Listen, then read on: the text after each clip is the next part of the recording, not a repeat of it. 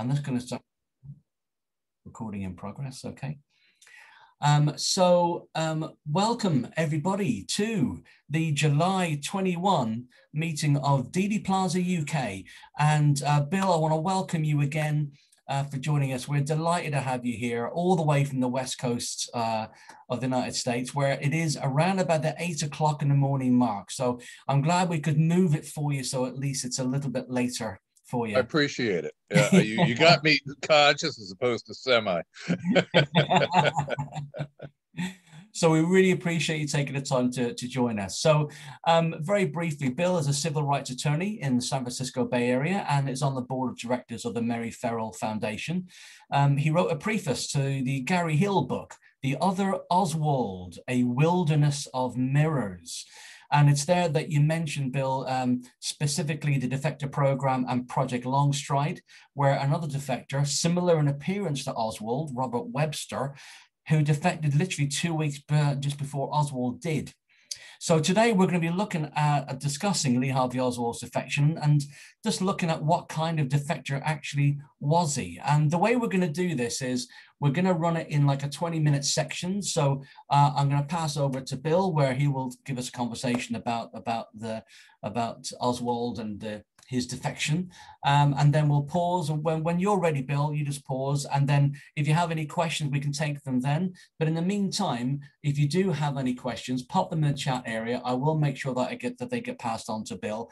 And feel free to ask him um, whatever you like. So without any further ado, Bill, um, again, huge thank you for joining us. And I'll hand over to you. Thank you. Uh, I will uh, begin, I think, by offering a, a, little bit of a teaser as to what I think uh, occurred uh, on the uh, Oswald end back in uh, the United States. Uh, in other words, why he came and why uh, and who was monitoring him at that point.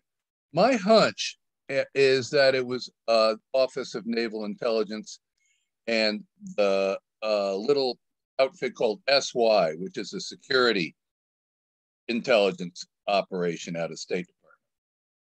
And, and the reasons I think this are a few things. One is that there was, in fact, an ONI uh, program uh, that that's, uh, was mentioned by Victor Marchetti back in uh, the 70s. And Marchetti uh, felt it operated out of New, North Carolina. And he said it was run by ONI. Uh, another indicator is uh, a fella who testified to the ARB named Donald Monier. And he talked about a program called Navy Code 30, which was similar to the operation that Marchetti mentioned.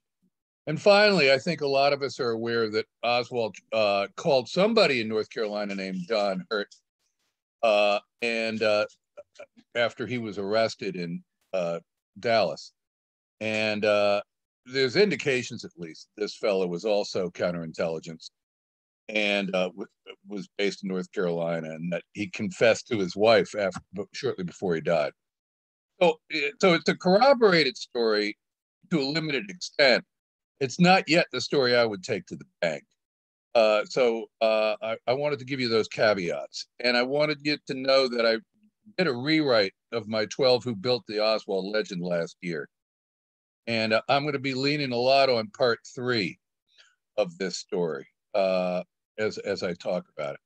But the other thing I wanted to talk about in this defector context is some new research uh, that I've got.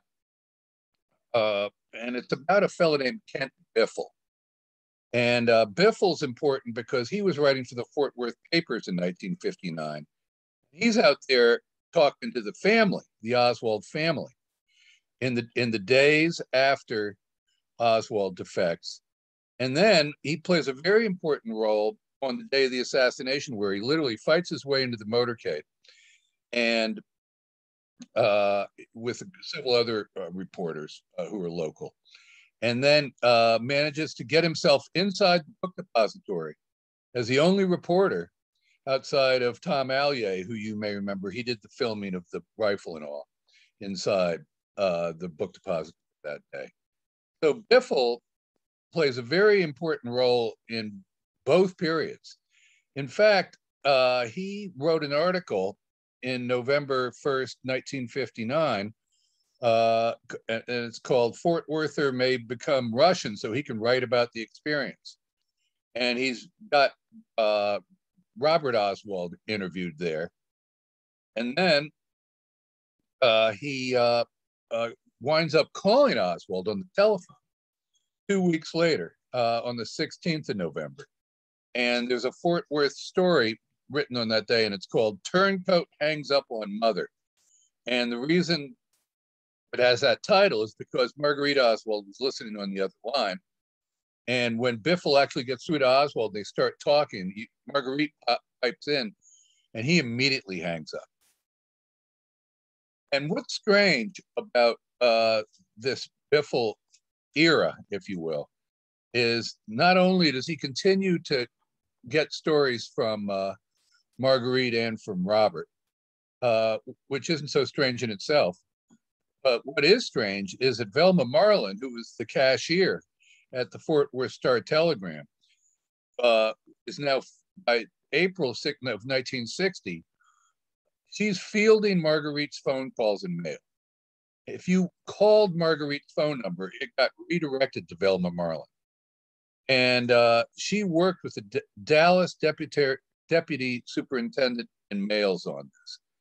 And this is a very critical time. I think a lot of you may remember Marguerite's not getting all of Oswald's mail.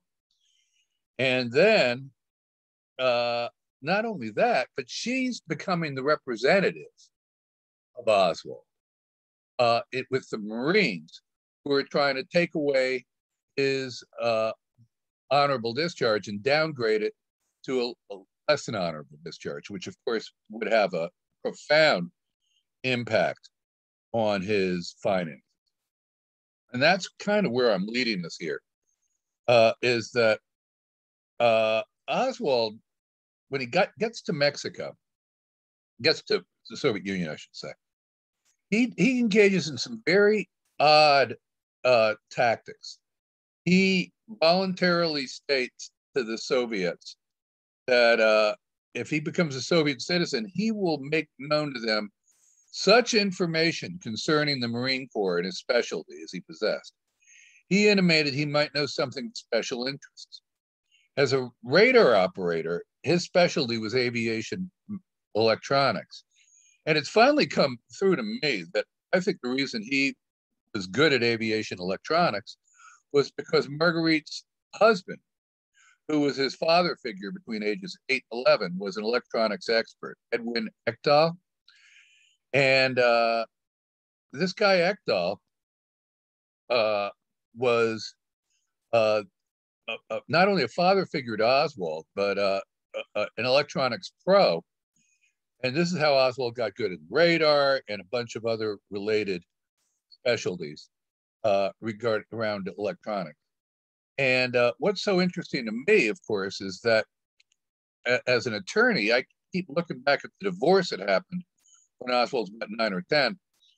And the attorney who represents Ekdahl is Fred Korth, who's the uh, Secretary of the Navy. And uh, and so, you know, for a long time, I really had the opinion that Fred Korth was like the grand maneuver in this whole case. But what's curious is that uh, Korth's uh, predecessor as Secretary of the Navy was John Connally, the governor who was, of course, in the car and shot along with Kennedy that day. And uh, so I'm of the opinion at this point uh, that there's a real possibility that somewhere, you know, in 1963, jumping forward for a moment, all this history was used as a possible uh, story to explain Oswald's motivation. Uh, I mean, Scotty Reston, who was a famous reporter for the New York Times when I was a kid, his son wrote a whole book about Oswald and believing that Oswald was shooting at Connally. I don't think that was the case at all because I don't think Oswald shot anybody. But even if he, but no matter what you think on that subject, I think that the more important thing to think about is that this whole Oswald Connally story is a bit of a canard. In fact, it's total canard. Uh, even it was one of the stories they couldn't even get Marina to swallow. Uh, when Oswald was uh, in his first days as a uh, defector in the Soviet Union, uh, the legal attaché wrote that Oswald has offered to furnish the Soviets with what he knows on U.S. radar. And then uh, the, the counterintelligence guy from ONI says that he's got no record of a security clearance, but he might have access to confidential information. My point here is that this is really very muted language. This guy is sounding like not only a defector, but a traitor. Why are they treating him with kid gloves? It doesn't seem like they're terribly concerned about the security implications of his defection at all. Uh, nobody, and I, I ought to point out, nobody quoted him as saying that he would provide classified information. And it's probably because he didn't actually say those words. What he might have said was something about, I know about radar, that kind of thing. And I might know something that you might want to know. But he really is toeing the line about not giving away secrets that could uh, get him in jail or prison, Assange style or worse. Uh, Snyder, uh, the consul and former CIA guy who was interviewing him, uh, stated after the assassination, I believe he did not claim to possess knowledge or information of a highly classified nature. And the Warren Commission concluded that since neither the FBI or the Navy prosecuted Oswald, the State Department had no basis to conclude that Oswald's statement was anything more than rash talk. So, what I think happened here is when Oswald meets Snyder at the American Embassy uh, in those days, right after he got into the Soviet Union, he was coached to say uh, something that was a disloyal act, granted, that involved military information to the Soviets, but not of a classified nature, more along the same lines as Robert Webster. Uh, Robert Webster uh, was a fellow who uh, is the subject of Gary Hill's book, The Other Oswald. He had defected a couple weeks earlier. His uh, uh, specialty was fiberglass, and rockets uh, and fiberglass went together like ham and eggs during that era, and probably now. And so they wanted to know through Webster, Soviets did, uh, uh, what he had on rockets, and the Americans in the Air Force, who kind of guided his way, on their hand, they wanted to know whether uh, the Soviets were ahead of us or behind in rocketry. By the time Webster was done, the conclusion was we were ahead by about a dozen. Uh, I think Oswald's was a uh, work was a little bit more about adventure. You know, he knew a little bit more about electronics than a lot of people, uh, but he didn't have any big secrets to give up. Uh, just like Webster didn't have any big secrets to give up either, but he was a good observer. And that's what Oswald was. He was an observer, in my opinion. Uh, Oswald told Snyder that he was going to tell the Soviets what he knew about his specialty, aviation electronics.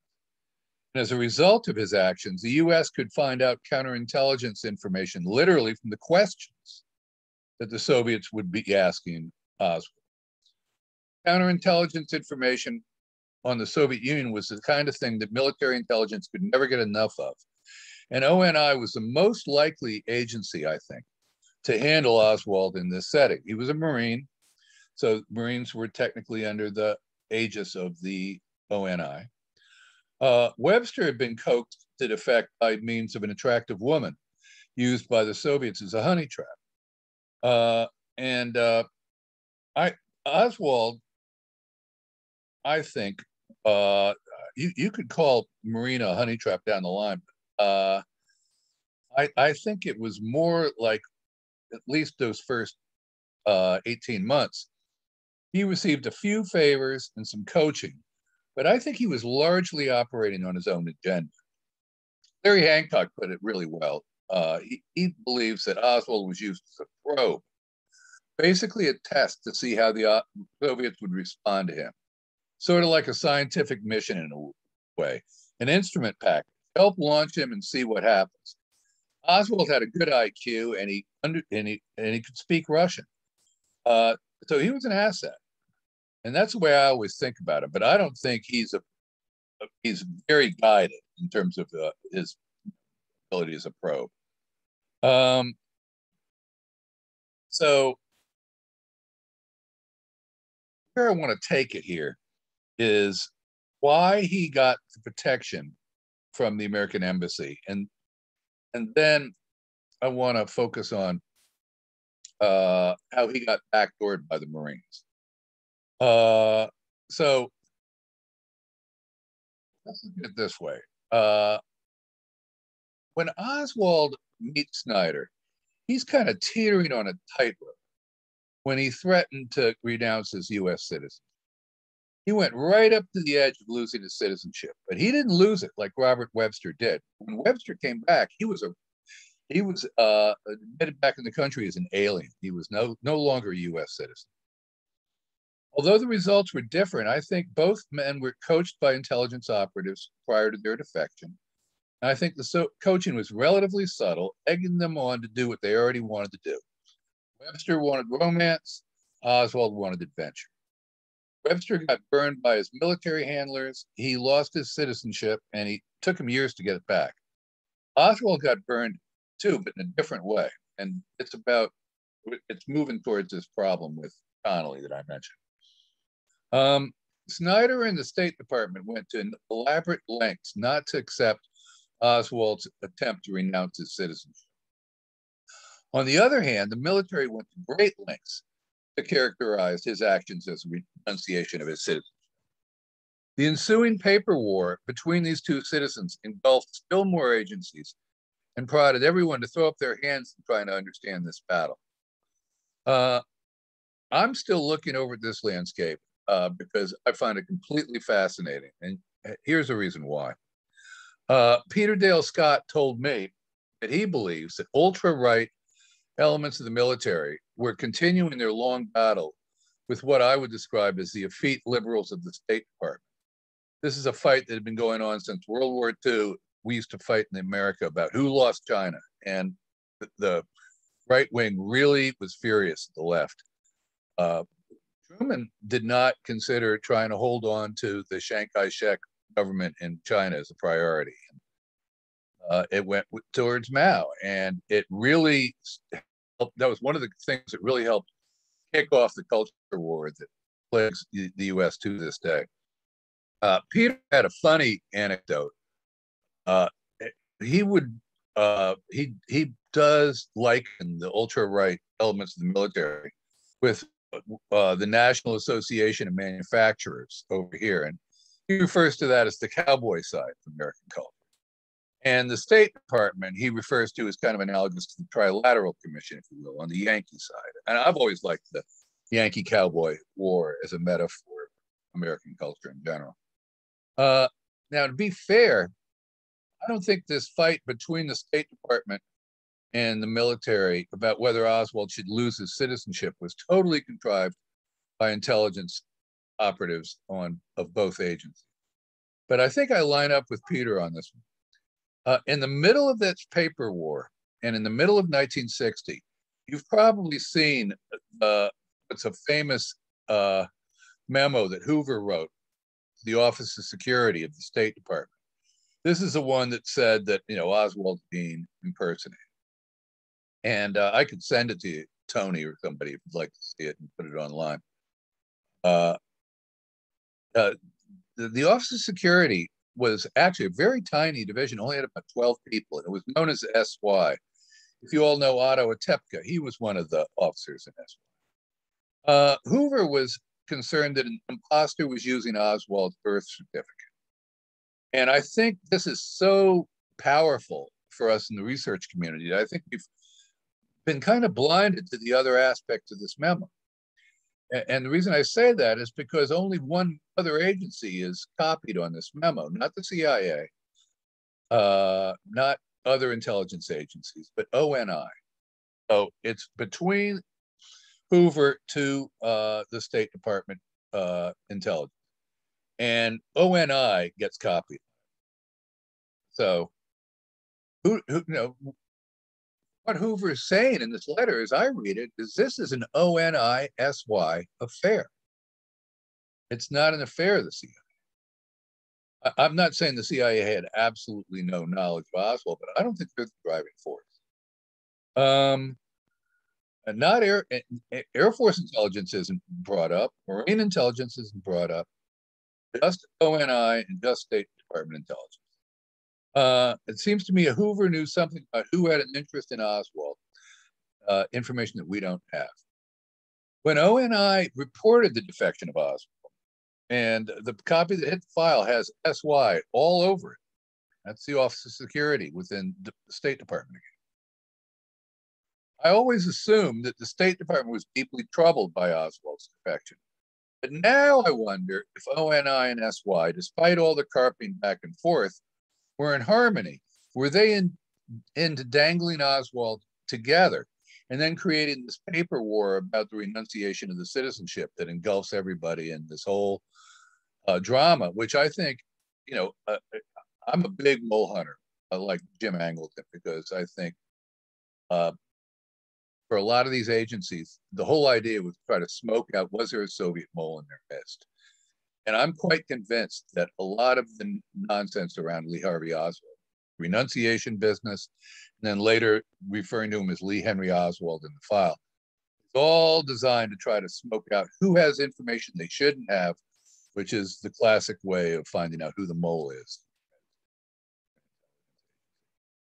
So, uh, in any case, all this goes on right in the middle of Oswald's time in the Soviet Union, the time where he can't uh, really explain uh, his circumstances to U.S. military officers and couldn't really receive readily receive any mail. For whatever reason, he's not in communication with his family from late 59 to early 61. Marguerite says she writes him three letters. All of them are undelivered. Delivered. Oswald, let me just wrap this one little piece up and then I'll get breath here. Oswald didn't reappear until Marguerite personally left home to go to the State Department January 21st, 1961. That's the day after JFK's inauguration. When Marguerite gets to DC in the State Department, she gets a red carpet treatment. Uh, you know, Rusk makes a point of sending one of his main people down there to have coffee with her and tell her that well, we've got uh, we know where he is, and you're going to be hearing from him real soon. And sure enough, she does. And uh, uh, she gets Oswald's address from the State Department. And Oswald, uh, uh, at the same time, says he has now turned to the State Department and says, I want to return to the USA. So I want to wrap up this section if I can go a few extra minutes. Is that all right, Tony? Absolutely fine, Bill. Keep going. Okay. I wanted to, because this I think will kind of tie together the question I have about Biffle and the question I have about uh, the Soviet Union. Um, what I'm asking people to do is uh, if you've got your computers open, uh, go to my chapter three and go to the section called How the Marine Brass uh, Backdoored Oswald. And when I say my chapter three, uh, if you're interested, you can find it on uh, Mary Ferrell. If you go to the home page and just click on the, the top uh, uh, about of uh, the current events, uh, it'll take you to my essay. It's called uh, "The Twelve Who Built the Oswald Legend," and you can drop down to how the Marine brass deck at Oswald. And the only reason I suggest that is because I'm going to be kind of reading from it verbatim for a few couple minutes. And there's some great documents here that I think will make more sense if you're able to actually look at them rather than hear me describe it. Um, but with that said, let me uh, plunge on. Because uh, uh, what I'm asking you all to do is take a look at how the Marine brass at this little naval air station out in Illinois called the Glenview Naval Air Station damaged Oswald's future while he's incommunicado during 1960. Uh, what we see here is what I describe as the plumage of a truly rare bird, an exposed intelligence operation. And no matter where you stand on Oswald handling the gun or this or that, he's caught up in something here. And uh, I don't think anybody on any side can deny it. Uh, Peter Dale Scott figured much of this out years ago. It's in chapter four of his book, Dallas 63, which I helped edit.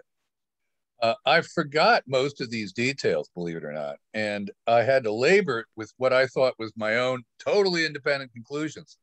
And then I realized, you know, like Peter, once again, had covered much, much of this ground, and I had even gone over it myself and forgotten about it. Um, my conclusions are a bit different than his, but all of it's fascinating to me. So you may remember that the Albert Schweitzer College out in Switzerland uh, in March of 1960 was trying to reach Oswald to confirm that he was going to be beginning his classes in Switzerland during the following month. It's addressed to Oswald's address in the Marine Corps out in California. But the problem is he'd been discharged from the service since September 59. And of course, he's in the Soviet Union has been for the last five, six months. So Marguerite received his notice from the college, and she gets it thanks to a string of forwarding addresses that were on file at the Fort Worth post office. So you hear all these different addresses, you know, uh, one on Fifth Street, another one on Fifth Street, another one on Harley, another one on Eighth Avenue. Uh, and she'd been moving continuously during this period since Oswald moved out of her uh, left her place after staying for the weekend in September 59 and getting on that freighter to uh, Europe. Um, so my point here is that one of the addresses is Harley. And we're going to see this Harley address uh, in a predominant fashion in the next few weeks. Because now I'm moving up to April of 1960. And the commander at the Naval Air Station uh, uh, says sends sends uh, to Oswald a notice that they're going to have a board of officers convening to determine his fitness for retention in the reserve because of his recent activities. He's not doing his reserve duties, you know, and, and they're justified in not being happy with this man. I mean, it's one thing to be in a defector to the Soviet Union, but the other piece that people actually forget is that he had he was supposed to be in Illinois. He was supposed to show up and you know, do his due diligence, and he hadn't done it. So he's looking at a set undesirable discharge. Uh, so the notice said he had the right to present evidence and to appear by person or be represented by counsel.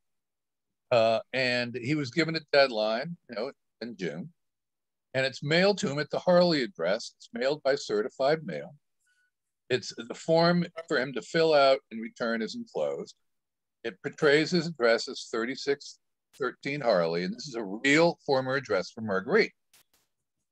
So now, if it's really weird, uh, it, it, but if you look at the envelope, the Warren Commission all of a sudden gets very hazy, and they report that the envelope's too faint to photocopy. But if you look at it, it doesn't say Harley, it says Hurley, H U R L E Y.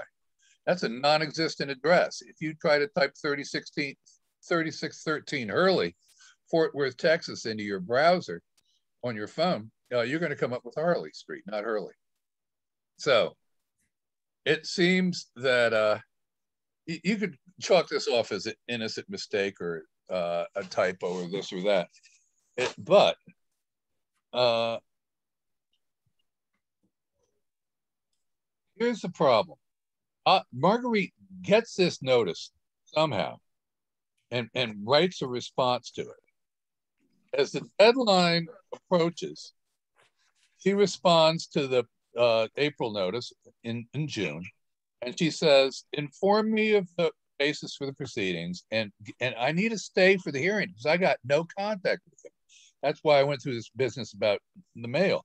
She there was simply no communication in 1960 uh, between the Oswalds until January 61. She added that after hearing from you, I will be willing to act on his behalf. So Marguerite's Marine contact uh, decides, as I say, to have his cake and eat it too. He won't stay the proceeding, and they won't, and they failed to let her act on his behalf. Uh, she needed counsel and didn't get one. Instead, what happens is this: she receives a second response from Bletch from this lieutenant saying, uh, "We got to take action because of his request for Soviet citizenship." In view, that he hasn't informed the headquarters, and he's out of the country without permission. It's considered that a letter sent to the last address on file is sufficient notification. A letter will be sent by certified mail informing your son of the convening date of the board. And uh, so no, here's the important thing to note. Even though Marguerite said, I'll act on his behalf, they don't send it. She had sent them a new address, which is actually, you'll laugh, uh, uh, the Hurley, a Hurley address. This is 1410 Hurley, but uh, it doesn't go up as high as the other number I mentioned. And uh, it, it, and even though she tells them about the Hurley address, they don't send the notice there. They send it to the last address on file, 3613 Hurley, a place where the board should have known at this point that no one lived. Uh, and uh, the, the, certified mail envelope is addressed to Lee H. Oswald, 3613 Hurley, Fort Worth, and it's marked certified. And then what's weird is is I've, I've got it in the document if you get a chance to look at it. The envelope that uh, with the arrive that is sent with the arrival notice uh, is actually addressed to 1410 Hurley. Uh, so what we have here is a mail uh, arrival address that's typically provided by the sender. The sender can write any address desired and simply stick the arrival notice in the mail. So some you, you, so you look at the envelope, and the envelope is addressed to the non-existent 3613 Hurley address, but the the uh, certified mail slip states the current 1410 Hurley address. So they tried to pretend that it was sent to 1410 Hurley when it was actually sent to 3613 Hurley, which again doesn't exist. So as a result, Marguerite didn't get the notice for the hearing. This is I've seen this kind of stunt before. I'm an attorney. I do rent control hearings, and you know landlords who are trying to undercut their tenants uh, are fre- frequently will engage in what the lawyers call sewer service. This is a perfect example of sewer service. Um, as Marguerite told the Warren Commission, after corresponding with me as Mar- Mrs. Marguerite Oswald, they sent the dishonorable discharge hearing notice in Lee's name, addressee only, when they knew he was out of the country. But she didn't spell out what I just spelled out. Uh, and, and it, it, seems like uh, it's it, you know it's certainly fair to say they weren't prepping him as a patsy in a future presidential murder, but they were trying to dirty this guy up. So now he would be at their mercy, if you will, do what they wanted him to uh, Peter Dale Scott's analysis, I think, is useful here. Uh, what we know of the sociology of ONI and Marine uh, G2, which is Marine Intelligence, corroborates their sympathy to the hunt of subversives in government. At the Glenview Naval Air Station, the site of Marine G2 Regional Detachment, where we found documents addressed, had been for years a center for right wing political activity. In the 1930s, the 9th Naval District had organized reserve intelligence teams to ferret out intelligence on radicals and pacifists. In 1960, while they shuffled their Oswald records, they played host to a five day school of the Christian anti communist crusade. It should be known that they were not an ad hoc group, this Christian crusade, but an international organization that worked with the World Anti Communist League and then later the National Endowment for Democracy, which is kind of you know the above ground equivalent of the CIA here in America. Indeed, the Glenview Naval Air Station was lending respectability to the Crusades sustained onslaught against another part of the government, the accommodators in the U.S. State Department. So what all this means is, when Oswald came home in 62, he had to lie on all of his employment forms to get any kind of job. He couldn't get a clearance to work in a security facility. He couldn't work in aviation electronics on the military side, and he couldn't get decent benefits under the GI Bill. On top of that, he's compromised. If someone in government wants a little help from him, he'll probably be forced to do their bidding with the hopes of getting his discharge upgraded down the line. When Oswald protested this hearing and asked for a discharge review, the decision went all the way to the desk of the Secretary of the Navy. Oswald got no relief. And as we'll see, uh, John Connally was actually the guy uh, that I believe uh, did administer Oswald's uh, request for an upgrade. And uh, he simply refused to do it. He took a hard look at it, and there's a fascinating memo uh, where uh, Connally uh, took a hard look at it, and his attaché took a hard look at it as he was turning his papers over to Fred Korth, and said, "No, no, I'm not gonna, I'm not gonna do much anything. I'm just gonna kick it back to the Marines." And the Marines kicked it back and said, "You're not getting your upgrade." So Korth never got to see it. Uh, Fred Korth, Secretary of the Navy, who had represented Oswald's uh, stepfather. And I keep wondering at the end of the day whether, uh, especially in July 1963, where they tried to kick it one more time to Fred Korth and it still didn't get to him, whether in fact there wasn't some work done to keep this Connally legend alive and to keep Korth away. Because Korth might have actually shown some mercy to Oswald. Uh, that's the most surprising possibility that I've found from this. I could talk more about it. It's in my it's in that chapter, but that covers the high notes. I think of the drama of Oswald's action that have not been, you know, thoroughly mulled over. I don't think by the uh, community. Uh, a lot of us have looked at this past, but I don't think people have really looked at how the renunciation business got snowballed into a, a, a mole hunt.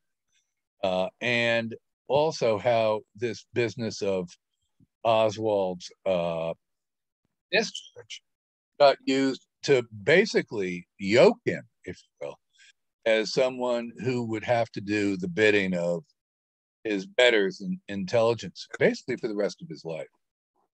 And uh, I think it goes to a lot of his motivation. I can talk a little bit more about that uh, in a if you give me a few more minutes later on. But this is where I'd like to break for now and take. That's great, Bill. Thanks a lot for that. We do have some um, interesting conversations going on in the chat area. Um, I'm going to start with uh, Johnny. Johnny Cairns, you've got a, a question uh, specifically about. Um, uh, if you want to just come in, Johnny, unmute yourself. And there's a question you've got about the about post office boxes in Dallas and how easy it would be to get those. Um, do you want to come in, Johnny? Yeah, sure. Bill, how you doing? Good, Johnny. Good. Yeah, good to see you. It's good to see you. Um, I've got a quick question. I'm uh, I'm currently I'm co-authoring a book that's coming out in November. I'm putting the finishing touches on it just now. And one of the um, many aspects of the case. I'm looking at is the mail transaction for the, the alleged murder weapon.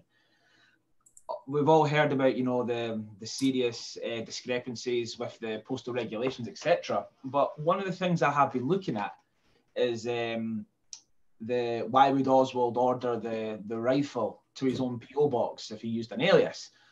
Now i was talking to barry ernest about this uh, and i was trying to get a hold of how much money oswald was making back in like october and march 1962 63 and then the Warren report it has a list of his expenses, and it shows like all the surplus money that he allegedly had each month. Um, my question is, how easy was it to um, rent a post office box in March in, uh, in 1962 63?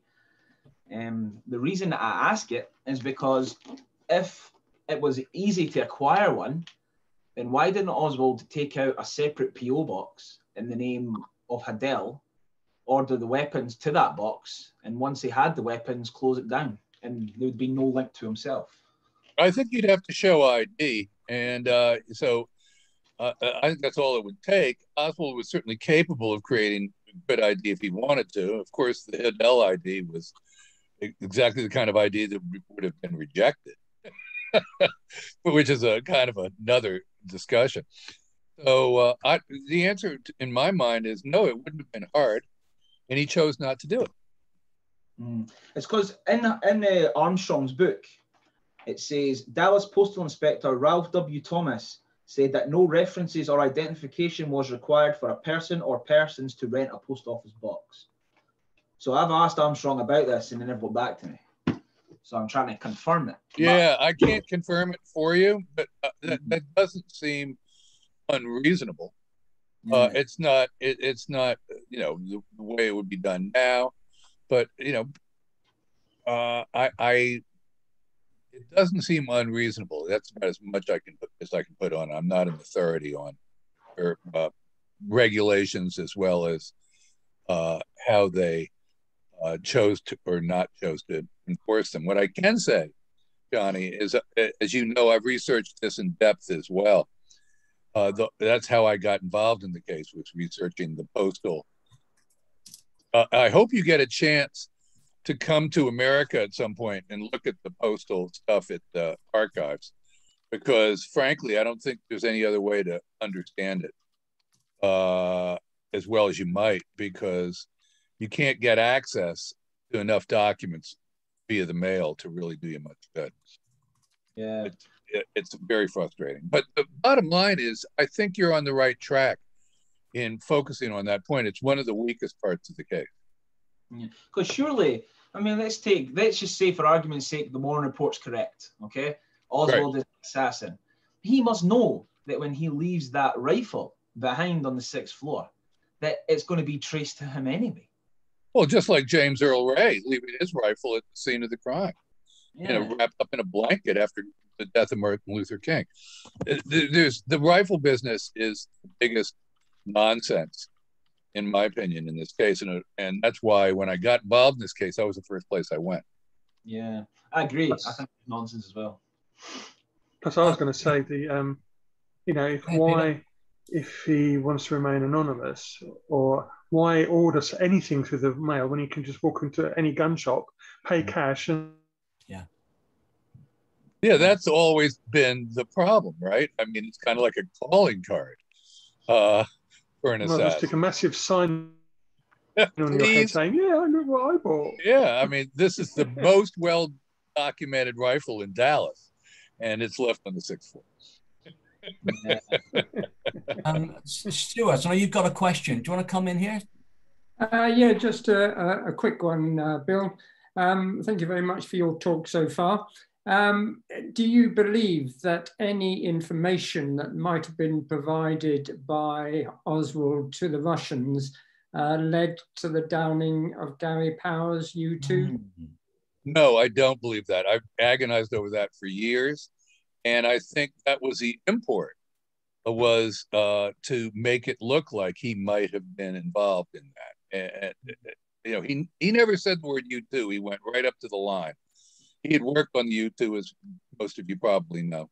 But I, I don't think that uh, he, frankly, that he had enough information to give anybody about anything.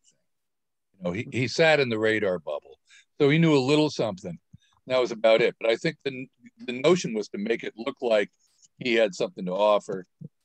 Uh, I'm I'm suspicious enough in my old age to think that Allen Dulles set up that whole U2 downing in May of 1960. And what always killed me was the, you know, Oswald got serious with the State Department in January 61, as I mentioned, but it was the days after the U 2 where he first turned to his uh, uh, colleague, Alexander Ziger, who was his boss at his job, and said, I want to go.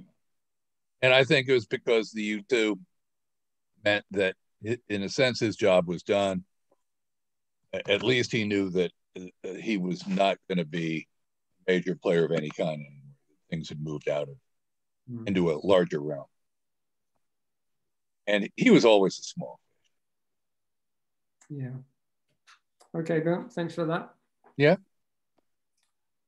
Thanks, Bill. Do you want to continue? I, I haven't got any other questions that I can see, unless anybody wants to jump in. All right. Let me turn then to uh, uh, this business about Biffle because uh, I think that this is, uh, frankly, uh, my current area, one of my current areas of exploration.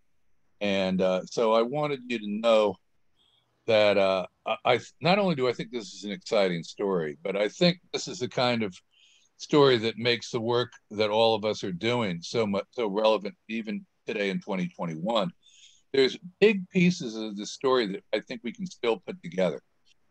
And the biffle story is one of them. And let me explain why. Uh, biffle was writing stories about oswald in 1960 during this very period i was mentioning and uh, you know it's not surprising when you think about it that you know the mail people and the phone people were willing to work with Biffle and willing to work on Oswald because after all, Oswald's a defector. A defector is a big deal. There's no two ways about it in intelligence service. And the only thing that's a bigger deal is when the uh, in, the, the defector comes home, because now you've got access to all of the defector's information. So Biffle is a character. He was, uh, was originally working with this smaller paper called the Fort Worth Press. And then he gradually started working with the Fort Worth Star Telegram. Now, the Fort Worth Star Telegram is really kind of a story in itself. I want to use as a little color for background because it, it, it's crucial. Uh, a fellow named uh, Amos Amon Carter was the founder of the paper, and his son uh, became the founder of the paper after Amon died in the 60s and uh, was the editor uh, through the 78 or no, even later into the 80s. So Amon Carter, uh, father and son, are, are characterized by Peter Dale Scott in Dallas 63 as pillars of the Air Force industrial complex. Uh, Amon Carter became publisher of the Star Telegram in 20, 1923. And it's been said that uh, no other individuals in no other city in the United States are so entwined with each other as Amon Carter and Fort Worth. Uh, you know, it, it, people have described Fort Worth as practically a one-man city. Fort Worth is the area that's always forgotten in this case, and I don't think it should be because it is twin city to Dallas. Uh, Marguerite told the Warren Commission as a practical nurse, she took care of the children of Amon Carter. Jr. in his home.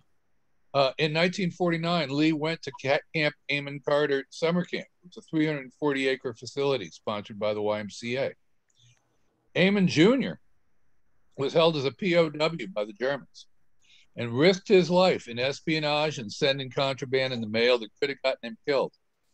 He continued to smuggle contraband to his friends in communist held Poland clothing, necessities, luxury items, and money until his death in 1982.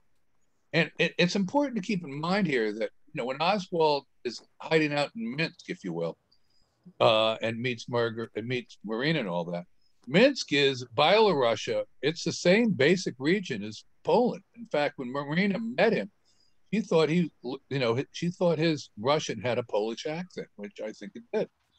Uh, and uh, what's interesting to me is that you know Amon Carter Jr. is running the paper in '79 when the HSCA comes out with its uh, findings, and and the HSCA, as you probably recall, came out with a conspiracy fund. And after they did this, the Star Telegram, which is you know a rah rah, you know red, white, and blue kind of outfit, it went all out pushing the conspiracy angle. It was like the paper had finally figured out it had been used all these years.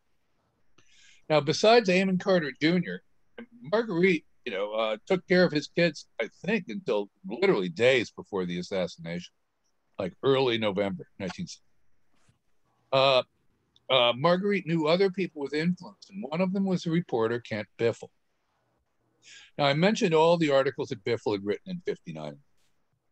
Uh, now I want to take it a little bit uh, closer. Uh, Biffle, uh, in 1961, after Oswald comes home, uh, no, before Oswald comes home, he's listed as an FBI informant. He was reporting on a long-time criminal outfit that was uh, trying to start a lottery in Fort Worth. So Biffle is now we can see that he's uh, also a friend to the intelligence forces within uh, within the Dallas Fort Worth area. Uh, he uh, th- he's not listed just as a source; he's specifically listed as an informant. Um, now, I, I mentioned to you in passing that he was with part of a Dallas Morning News automobile that crashed the motorcade uh, uh, before uh, uh, Kennedy's shot. Now, the limo is car number four in the motorcade. Biffle's in what became car number 18, if you will. When the shooting occurs, by Biffle's account, he jumps out of the car at the grassy knoll. He looks around there, and then he uh, enters the book depository and gets by the police guard. In the first minutes, and he gets in at the same moment, curiously, as Tom Alyea. Completely by accident, that's what he tells. TV reporter for WFAA who brought in his camera. Biffle claimed he gained entry by hiding his press badge and getting inside with the first wave of cops. Now, Biffle hears Oswald's name mentioned as a suspect while in the building. He hears that that whole conversation you may be familiar with between Truly and uh, Lumpkin and uh, uh, Fritz. And uh, but he doesn't connect Oswald's name with the Oswald he knew until he got home. I don't believe that for 10 seconds. He'd written several stories about Oswald. In fact, he wrote a story about uh, uh, Oswald. It's dated November 2nd, 1963, 20 days before the assassination. And the story has a very interesting title. It says that uh, Turncoat's mother has never met his wife. One, that wasn't true because, by all accounts, everyone's account, uh, Oswald and Marina moved in with Marguerite for about a month right after he got back from the Soviet Union. But, but more to the point, where's this article? The article uh, is listed in an FBI memo as being written on the 2nd of November 1963. And it's disappeared. I think the reason it disappeared is either because it's just a total mistake and somebody made it up and uh, it, uh, or got it really, really wrong. Uh, but we've gone through all the newspapers with the uh, archive. The archivist simply can't find the November 2nd, 1963 copy at all. We're still looking for a copy. Uh, but I, I don't know that we ever will. Whole issue of that Fort Worth press just seems to be gone. So that's very strange. But now, uh, what else is strange is that he didn't write about his entry into the building. Uh, the cops knew that Alyea was filming. They didn't kick him out. And it, it, he's uh, he films the actual finding of the rifle, and uh, yet uh, you know he, he is allowed to stay in there, and uh, uh, Biffle is apparently allowed to stay too, and they're in there for more than an hour. Uh, and uh, but he doesn't write about it. Why doesn't he write about it? Uh, there's something really wrong with not telling your story about the exclusive. This is an incredible exclusive. He doesn't write about it for many years after. But uh, he does talk to the cops. And uh, he supposedly claimed, well, he claimed later on that he supposedly saw two roll calls and he says that at the second roll call, everyone was there but Oswald. The second call supposedly happened at 2.30 p.m. when Oswald was already in custody. Um, and uh, if you want to see his story, it's uh, reporter recalls the day Camelot died in Dallas. And that's like April 5th, 1981, Dallas Morning News. You could find that if you go through the Dallas Morning News uh, and Mark Bridger, who I know is a friend of uh, Dealey Plaza UK. My dog is back. I gotta get it to stop. Stop it, you! He does listen. Stop it. so anyway, he, Mark has written about the myth of the depository roll call. And uh, it's very strange. Uh, he wrote on November 28th uh, a very detailed memo about this case. Uh, I, I, should call it an article, but it reads like a memo. And it's kind of like the prototype of the uh, Warren Commission report. Uh, and six days after this whole thing was done. So the role of Biffle is very strange. Biffle's also one of the few people who claims he saw the paper bag, which I find incredible. Uh, almost none of the cops backed up their own officers saying, uh, We saw the paper bag that supposedly held the rifle. Um, so it's a very strange series of events with Kent Biffle. And uh, I've, I've done a lot of research on it, and there's more to be done. But uh, the bottom line with Biffle is he he simply doesn't report on the things that any reporter would be reporting, and he has complete memory loss as to his earlier work with Oswald. Doesn't report on that for years.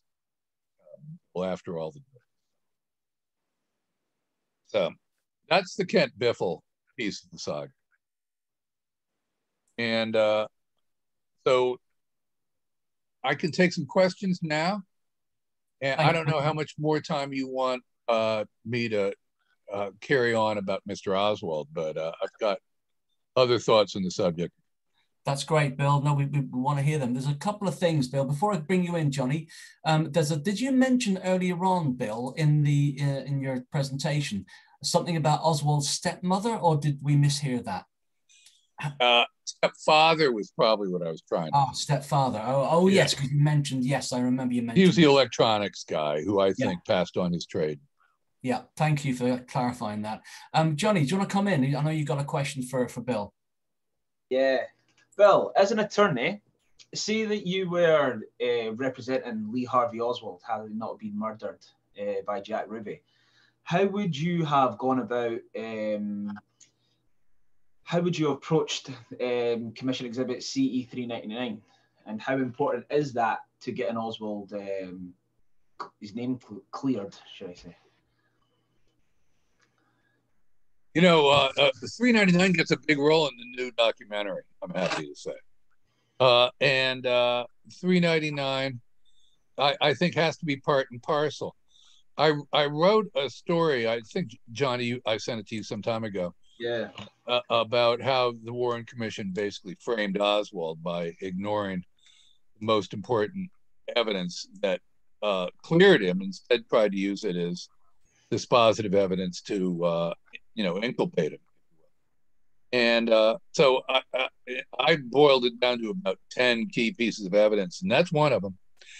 Uh, uh, the, the you know the problem with this case, like any other murder case, is there's usually not one evidence that will exonerate somebody. You've got to look at all 10 or more.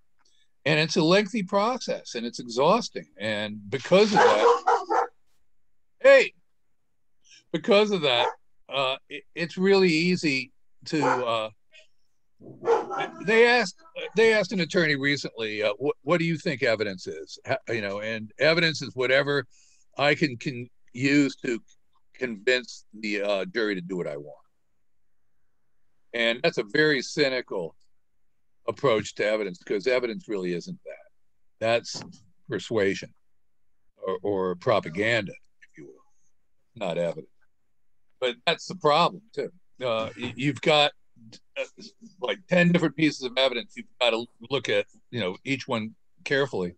And then you've got to persuade people as to the power of your point of view.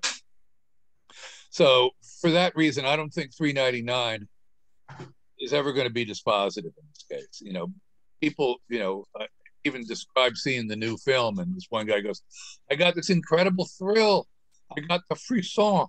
You know, when I saw the evidence, you know, and and, uh, and he goes, "But at the end, I still believe that you know, Oliver Stone's just trying to pull the wool over my eyes." You know, yeah. and, and because it's a bigger question than just evidence. It's a question of belief systems. Do you think, um, so how damaging then, for example, would it be if O.P. Wright took the stand and, and uh, publicly rejected Commission Exhibit 399? If, if which if which individual took the stand? Right, O.P. Wright, the man who rejected it. O.P. Wright is a great witness, as uh, Johnny knows, because he was a former police officer with the Dallas police. He knew uh, weapons and he knew that it looked like a 30 30 and not a, a Mannlicher type bullet. So I think OP Wright would have been a great witness. Yeah. Thanks, Bill. All right. Um, yeah. Go ahead, so, Bill. Well, we've talked about the defector subject at some length. And, uh, you know, I've got several other bits of Oswald uh, research that you might be interested in.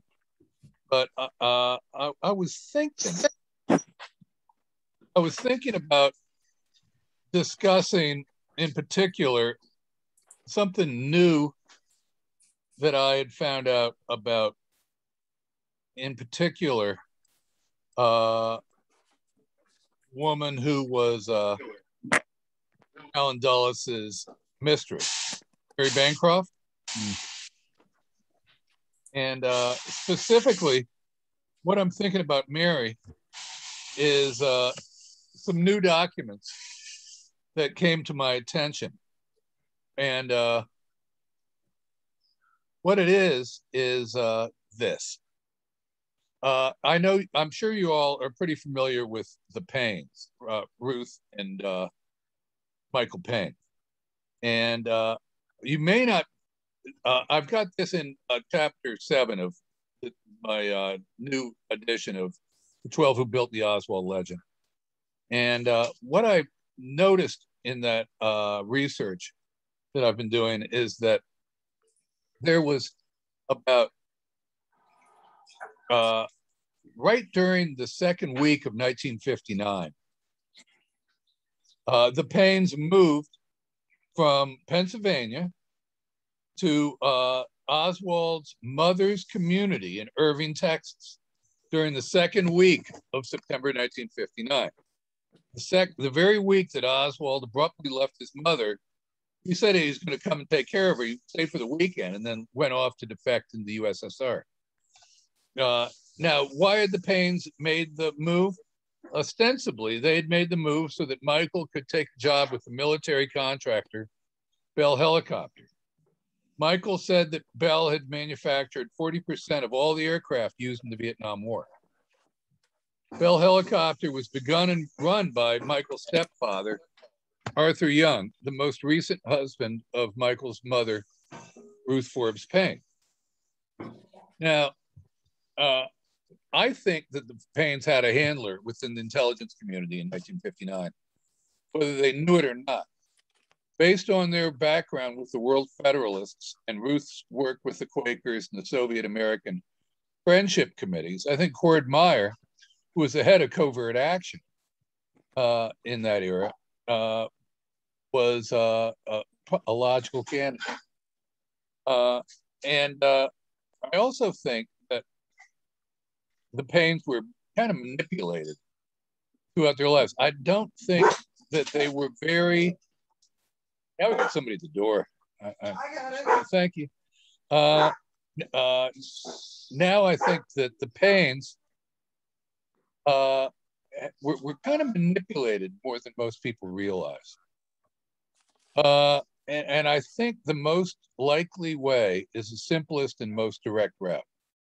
Uh, Michael Paine's family also had access to talent in the intelligence arena. Uh, Michael's parents, Ruth Forbes and Lyman Paine, uh, had a close friend named Mary Bancroft.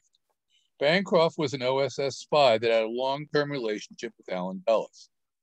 Uh, Bancroft was the granddaughter of a fellow named Clarence Barron, who was the owner of the Dow Jones, you know, Industrial Stocks Company, manager of the Wall Street Journal, and the founder of Barron's Magazine. So Bancroft is extremely well connected. Bancroft discusses Michael's parents at length in her book, Autobiography of the Spy. And she remained close with Ruth Forbes after she, she divorced Lyman Paine and married Arthur Young in 1948. So here's what I'm building up to. In the days after the assassination, Dulles provided a memo on the 2nd of December, 1963, in the Warren Commission. And it was, quote, from a friend. And it described the inner workings of the Paine family. It's very informative. Very informative. Uh, uh, the, the letter is particularly important because the FBI is under intense scrutiny for failing to add Oswald to the security index. And they had Michael's father, Lyman, on the security index. He was a Trotskyist activist. Uh, his birth father was. And this set off all kinds of alarm bells to the FBI. So the Paines were in hot water at the FBI until this letter came. If the FBI had taken a hard look at the Paines, they would have re- realized that the Paines were intelligence driven babysitters for the Oswalds, whether Ruth or Michael realized it or not. The, the, the letter writer provides her own, it, it's pretty clear it's written by a woman from the tone, uh, her own evaluation of Lyman Paine, who I also knew well in the 1920s. He couldn't do anything, he was thoroughly incompetent. However, he sure could talk. And he's and the writer says that Lyman and his new wife, Michael's mother, were active in Trotskyite circles. Not real Trotskyites, but belonged to some infinitesimal splinter group as far as I know, did nothing sit around and talk, talk about how the other Trotskyists were betraying the revolution as conceived by Trotsky. Now, Bancroft had more than a more than a passing interest in Trotsky. During one of her trysts with Allen Dulles, Dulles had put his hand over her mouth when a visitor came knocking at the door. And Dulles told her that the visitor was, in fact, Leon Trotsky himself. This isn't during their Switzerland days, trying to provide Dulles with some extremely important and valuable information. And the letter writer refers to Ruth Forbes in the third person. I had also heard, let me get it, but not from his mother, that Michael had homosexual tendencies, although he did marry and have children. Who else was also intimately familiar with Lyman, his Trotskyist beliefs, and the nature of Trotskyist splinter groups?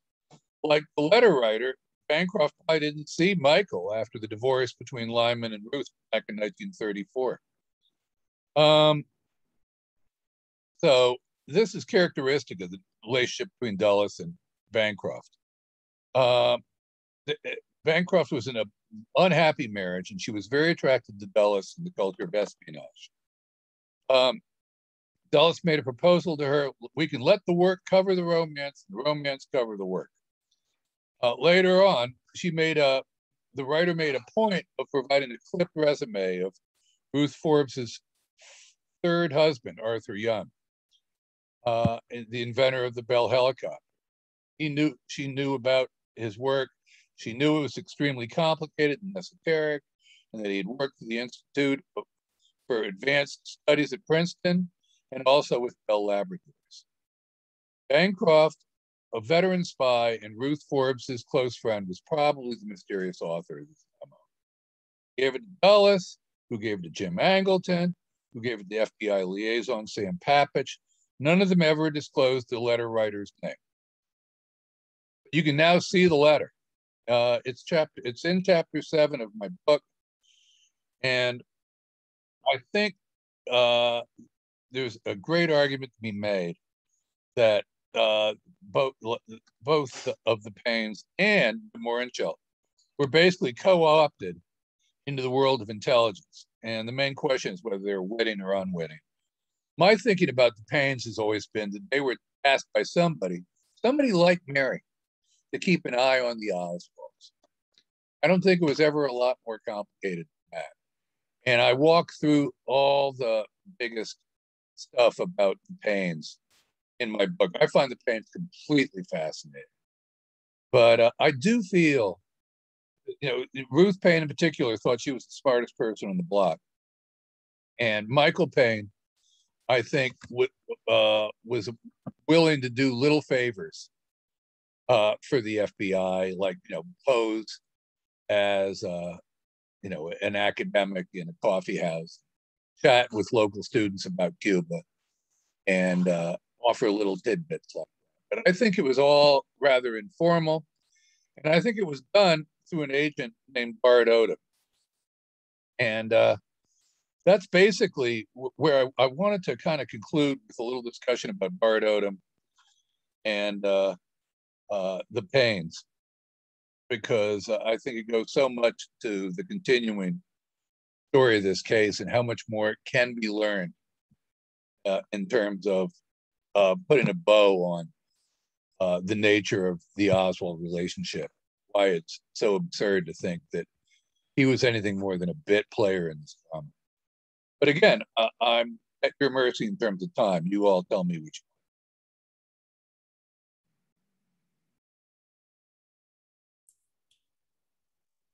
Um, and well, oh, well, I mean, what do people think? I'm happy for you to, con, you know, continue. Another 15 minutes, I think I can uh, wrap it up if there's yeah. no question. How's yeah, that? That's, that's absolutely perfect.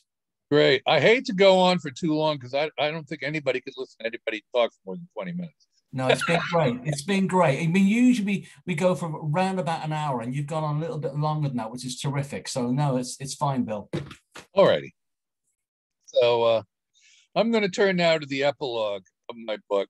Uh, I, could be talking about State Secret, which is my favorite, but this is kind of the backstory to State Secret. It kind of explains why I think Oswald was impersonated in uh, Mexico City. And I couldn't come to that conclusion until I had an idea who Oswald was. So uh, let me kind of put a bow on it. Um, look, thinking about the right place to tell this. Here we go. All right. Um, we have a website in uh, my part of the world called Capitol Hill Blue. It's really good. It's you know uh, it's well regarded. It's kind of the underside of what's going on in the Capitol. The webmaster is a guy named Doug Thompson, and Doug uh, felt that uh, Doug had a dinner with John Connally in 1982, and uh, at the end of dinner, the, uh, he asked him the $64 question. Uh, Connally said, "You know, I was one of the ones who advised Kennedy to stay away from Texas. Lyndon was being a real asshole about the whole thing and insisted. And Thompson then asked Connally if he thought Oswald was the shooter. And this to me, I think really, I just read this a few months ago, it just completely blew me away. Uh, and you got to trust Doug Thompson, and I do. Connally turned to him and said, Absolutely not. I, I do not for one second believe the conclusions of the Warren Commission and it, it, it, it was this is in response to the question whether he thought Oswald was a shooter. And the, and then he asked the next question: Why didn't Connally speak out? Connally said, "Because I love this country and we needed closure at the time. I will never speak out publicly about what I believe." Uh, that really gave me chills, but it also made a lot of sense. Um, uh, his wife Nellie, who was in the car, uh, she wrote in her book that Connally personally signed the documents that gave Oswald that undesirable discharge. So that's corroboration from what the legal attaché said, which is that they had a half-hour conversation and decided not to do anything, just leave the Oswald story, uh, undesirable discharge as is. So, in my opinion, uh, there was a little memo that Oswald wrote, uh, Hosty, that you all may be familiar with. And I think that letter and the letter that was went, went out uh, from Ruth Paine's typewriter uh, in November 63, both these letters indicate that he was motivated to be seen as a player in the world of espionage. This was his best shot for getting his GI Bill benefits as soon as possible. And it's curious that when you look at his room on Beckley Street, uh, as they did in November 22nd, all three of his key undesirable discharge rulings from 60 to 63 uh, were found together in the few possessions in that tiny room. And I don't think him taking a pot shot at Connally or JFK from the highly insecure sixth floor was a good way for him to get his discharge upgraded. Best way for him to get his discharge upgraded was to get himself seen as an important player in the world of espionage. He could figure out his place in the scheme of things. I think those two letters were two halting steps in that direction. I also think Oswald was involved in doing some favors for someone in those tense behind the scenes atmosphere on November 22nd. Why was he lurking around the first floor except to do a job? I think he was keeping his eye on Joe Molina. Joe Molina had been followed by the communists for eight years. They'd been trying to recruit him. And then two months before the assassination, the lead communist in Dallas, a guy named Bill Lowry, uh, came out as an FBI after all those years. This is first shot. Thank you. And so, so uh, I think Oswald was being groomed to be the new uh, new uh, contact for Joe Molina. Uh, Molina didn't know that uh, this fellow was a communist, and he didn't know that he was an FBI informant. But uh, the FBI knew both those things. That's how they keep tabs on me. I think Oswald was tailing Joe Molina. And if you're a prayer man person, like some people are, I gotta say that, you know, Joe Molina's on the steps and the alleged prayer man standing right behind him. Whether or not that's Oswald, Oswald is about the only person who's not watching the motorcade ostensibly or not fighting to get in best position. And yet he's probably the most interested person in Dallas about politics. So there's something really going on here. And uh, the, the, legal attache made a great quote, uh, the, the one who talked to Connally that day. He goes, I recommended that he refer the letter to the commandant of the Marine Corps for appropriate action. And this meant that the secretary was washing his hands of the case. Manning could do it as he wanted. It was a kiss off.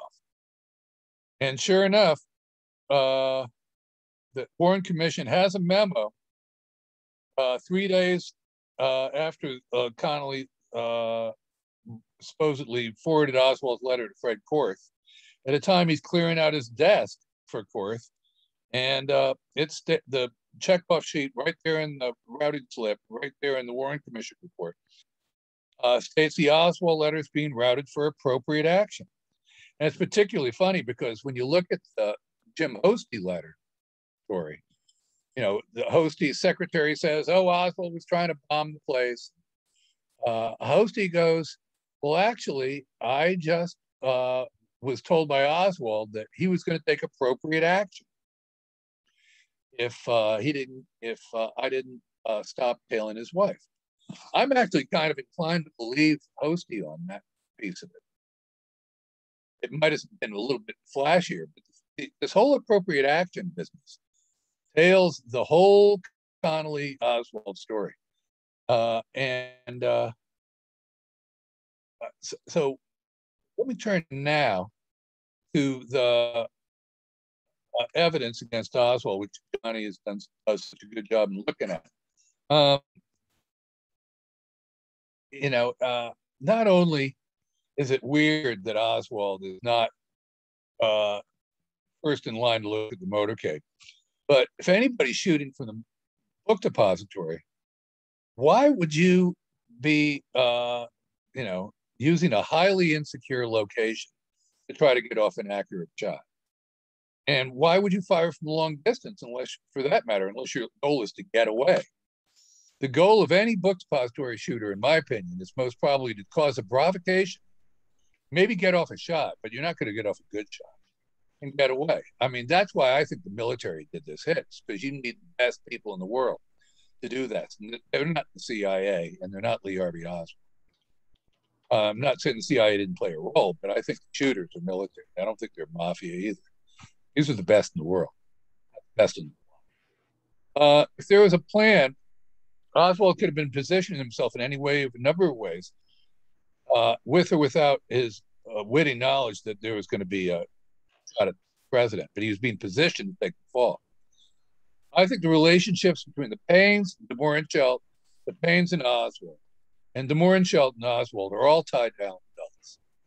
Uh, that party in Texas where they, the Paines and Mohrenschildt and Oswald all met, surrounded by oil affiliated people with ties to Radio Free Europe and the Dulles wing of the CIA, February 63. That's what's telling uh, in terms of the handoff. Not necessarily that he's, you know, that he's going to be shooting anybody, but that he's a vulnerable being. Dulles liked working with Unitarians and Quakers. These groups are filled with people interested in left wing movements, as well as people who wanted to bring the communists down. I also believe the Paines were being closely observed by the white Russians in the Dallas Fort Worth area, who knew that anti Soviet NTS intelligence operatives and similar forces were all around.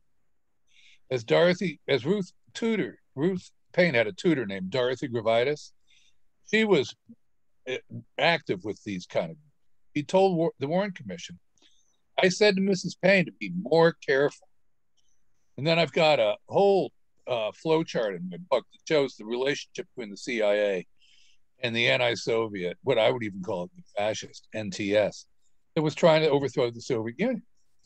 In fact, you know, by 91, the Soviet Union was overthrown, and it was because of groups like them and others inside the Soviet Union, as well as the CIA. Uh, the Paines were very much at home with Dorothy Gravitas.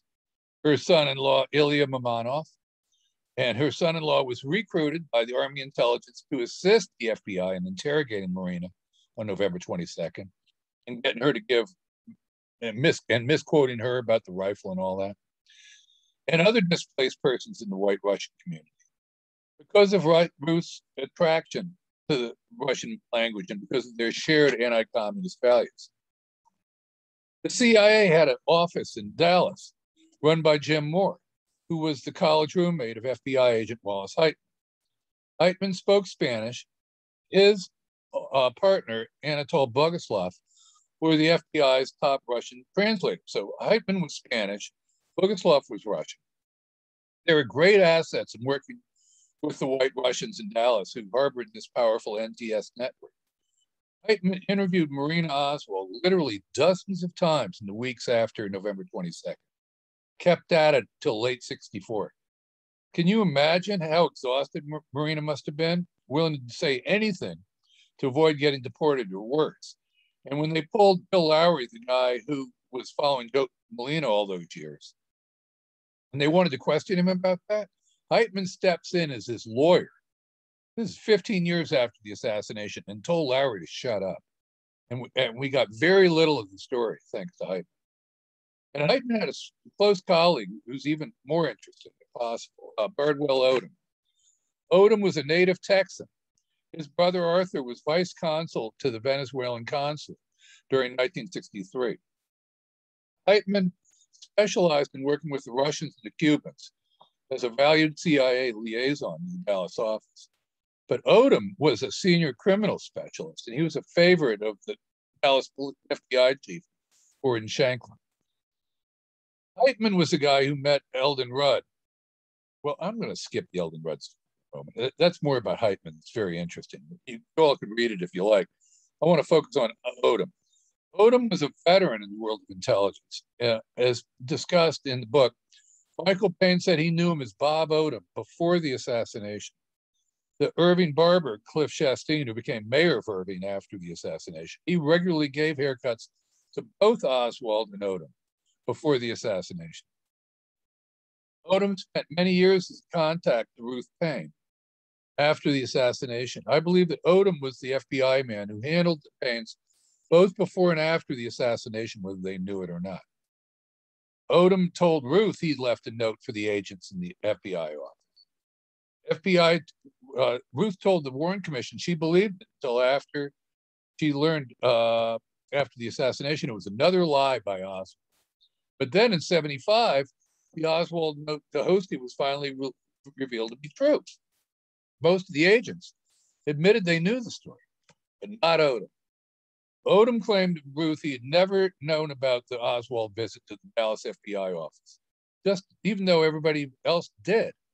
When Ruth found out that Oswald actually delivered the post, note to Hosty, he blurted out Odum's name to the media as her source.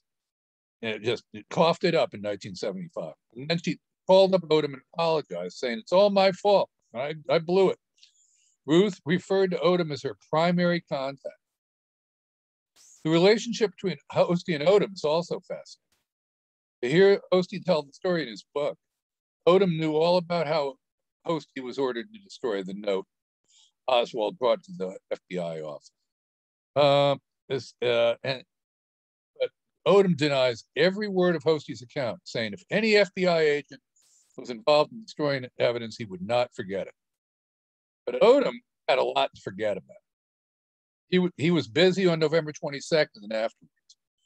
Martha Moyer and Raymond Gallagher wrote articles that schooled me over the years about Mr. Odum's busy schedule. Leslie Sharp, who has a new book coming out on this whole era, uh, uh, part of the whole Al Borelli uh, school. Uh, but Leslie knew I was hot on Odum's trail, and she reminded me just how busy he was from the first moments after JFK was shot. We first see Odum driving J.C. Day from the book depository to put the assassination rifle, alleged assassination rifle, into a locked evidence box that Day's uh, had it on the fourth floor of the police department. He calls in with the FBI radio channel, that, and we don't have that info at all. All that radio traffic on the FBI is gone. We then see Odum stationing himself as a guard in the lobby of the Texas Theater, watching Oswald B. Frog marched away. Uh, curiously, Odum standing right inside the theater near FBI officer Robert Barrett, who's got a lot of problems of his own on this case, and Dallas Captain Picky Westbrook, who's got a lot of problems of his own. Like Odum, Barrett also told his own share of whoppers. Barrett told a variety of stories about whether or not he was looking for bullets with Buddy Walthers in Dealey Plaza in the moments after the assassination. Similarly, when Westbrook was videotaped holding a wallet similar to Oswald's, Barrett told Westbrook the wallet had both Oswald and Hidell's ID in it. On other occasions, Barrett falsely told the news media that a card with O.H. Lee on it was found in the wallet. The lies of Odum and Barrett were designed to confuse everyone about the key events surrounding the assassination. And in fact, that's going to be the next book I write. It's going to be basically about false evidence that's been sewn into this case over the years to keep us confused. Uh, by 151, the radio transcript shows that Jerry Hill and his colleagues are en route to headquarters with Oswald. Hill was with Luke Mooney on the sixth floor when they claimed to find the Mannlicher hulls that matched the rifle that Odum escorted to the evidence room. Odum is busy. Uh, those hulls, uh, I think, were not necessarily planted there at all. I mean, were probably planted. Uh, and, and, that's another discussion, which you can read in another article. Uh, then Odum shows up, uh, searches of Ruth Paine's home and finds all, helps find all the great evidence like the ring story. I get into that. I'm going to skip all that now. Uh, but what I want to focus on is just how much Ruth and Michael regularly spoke with Odum. Uh, they, they, spoke with her over and over again, him over and over again. But Marina did not. Marina told Odum she would not talk to the FBI right away. That got her nothing but relentless scrutiny. Uh, and uh, I've got a photo of Marina talking to Odum while holding the baby, saying, you know, I just can't really carry on here. But the 23rd of November is also the day that Ruth gives Oswald's uh, draft letter, the one that didn't actually get in the mailbox, the draft. He gave it to Jim Hosty after holding it back from the Dallas police on the day of the assassination. To me, this is the clearest example that the Paines knew they were enmeshed with a relationship with the federal government due to the nature of their relationship with the Oswald family. Any other person other than Ruth Paine would have provided the Oswald draft letter to the Dallas police right on the spot. On the 24th, Odum interviewed Ruth and obtained her copy of the Oswald draft letter. Hosty said Odum was sent by their boss to verify Hosty's story and to make sure Hosty hadn't mistreated Ruth or Marina in his interviews before the assassination. Odum, on his part, went on to sign an affidavit saying, I don't recall the story. And then Odum got caught up in a number of other controversies, like the Minox camera. Uh, Wally Heitman got a hold of the chain of custody list and changed the p- police listing of the Minox camera to a Minox light meter. And so then it became a major issue. And so then Michael Paine comes forward to Odum and says, Oh, the Minox found in Ruth's home was my camera. And uh, so uh, that's how they tried to cover up the Minox story. And uh, there's more about it you can read, but he's caught up in the Minox yarn and he's also caught up in the 399 story. Um, the there's a 1964 memo that summarizes a series of interviews with witnesses. And it says that O.P. Wright, who we've talked about, uh, he was security at Parkland, he was former police officer, and Daniel Tomlinson. Uh, uh, this memo says the, that 399 appeared to be the same bullet they'd seen on November 22nd. Of course, that's not what Tomlinson said. It's not what Wright said. This memo tells a lie. And that, so, uh, you know, Wright had said, look, this bullet has a pointed tip like a 30 30. Does not have a rounded tip like 399 you see in the archives. So many years later, 2002, Tink Thompson, Gary Aguilar seek out Odum and interview him. And he goes, Oh, this memo is mistaken. I never had possession of the magic bullet. This memo he said, if I conducted such interviews with Wright Tomlinson, uh, I'd write up my own memo recounting these interviews. Well, he says, you know, I, I just don't know how this happened. Uh, I, and uh, Tink tried to give Odum a pass and say, well, maybe these documents have just been withheld. I'm like, no, I think Odum made it up. I don't think it ever happened. So, uh, that's a bit of the Odum story. And the, uh, is there anything else I really want to share? There's one last story I wanted to share. Uh, and this is about uh, Michael Paine.